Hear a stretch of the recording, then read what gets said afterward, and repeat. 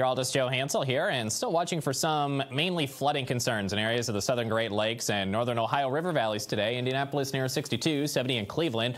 Sunny, breezy, and warmer out in areas of the Dakotas and northern Minnesota. International Falls at 79, much warmer than St. Louis at 67 today. Temperatures below averages generally the farther east and southeast you go. Out west, there is an elevated risk of severe weather along the Wyoming, South Dakota, Nebraska state lines for a large hail, the primary concern, but damaging winds and a spin up of a tornado are possible. A lot of flood issues out there in states like Michigan, uh, Indiana, uh, the rivers and uh, stream areas west of Chicago as well. A lot of river observations, moderate to major flood stage, especially near the Midland, Michigan area.